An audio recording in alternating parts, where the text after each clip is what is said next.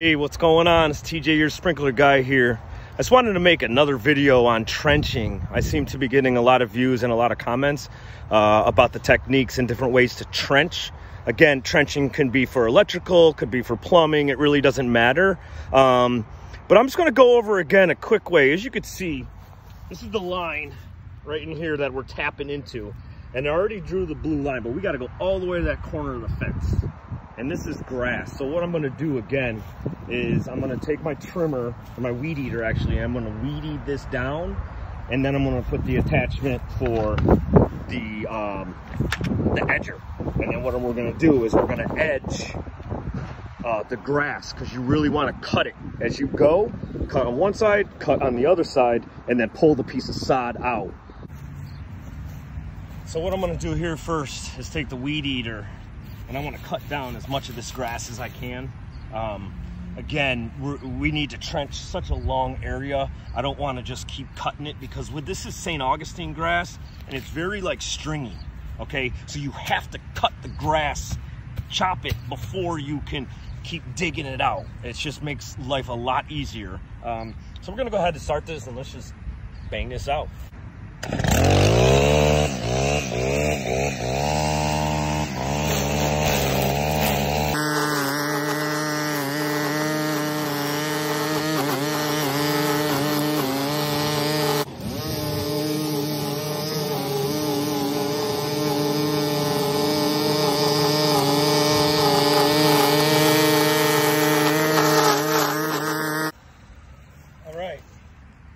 Just a little pointer here, guys.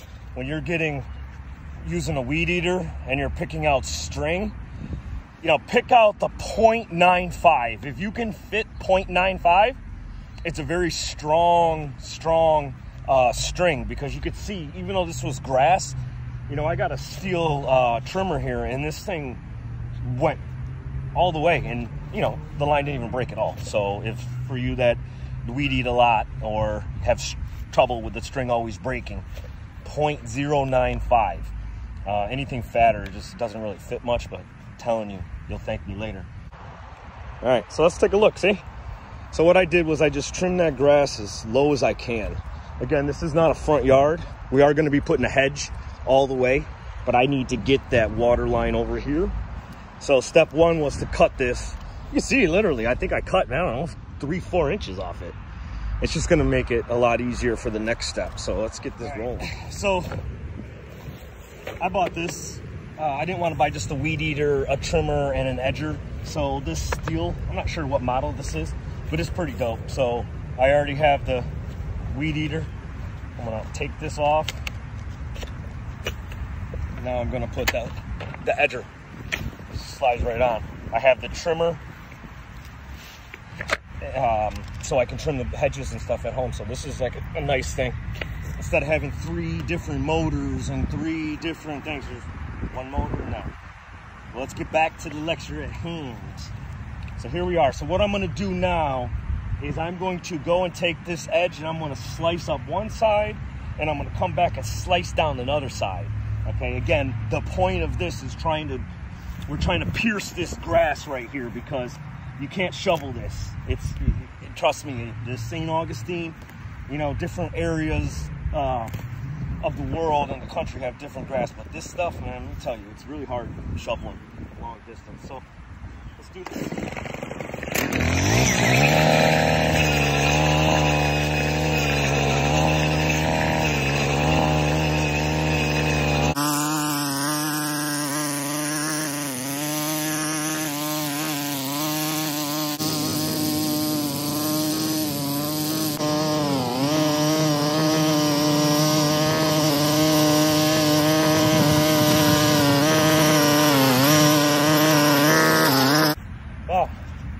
As you can see, that only took a couple minutes, well, probably like 10. Um, but it's very important. Uh, it's so quick and easy to come out here with a shovel and start shoveling right away. But if you take your time, especially something like this, again, if you don't have an edger, if you don't even have a weed eater, you literally take a shovel one by one all the way down. You can break it up in sections, you can do however you do it, but you have to always pierce it Again, we're gonna tap in there, all right?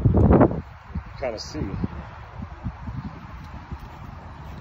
Now, when the guys come here, they're gonna dig exactly where I need them to. So, that's how you do it. Take a little bit of time before you start digging. It's really gonna help you in the long run. People walk through here, so I wanna make sure we block this off, man. Safety, you always gotta protect yourself.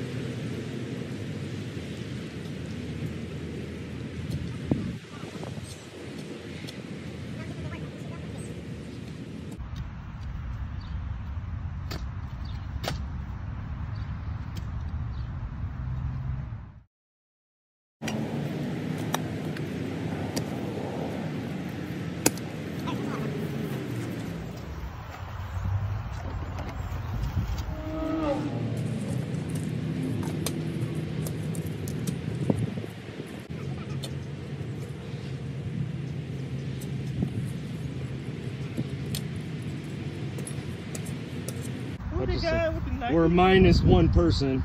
We're not gonna say because he's doing this, Oh, I didn't but want that's my, okay. my gluteus. That's okay. Gluteus maximus. Yeah, and what I from all of your camera. That's how you do it, guys. The best of the best right here.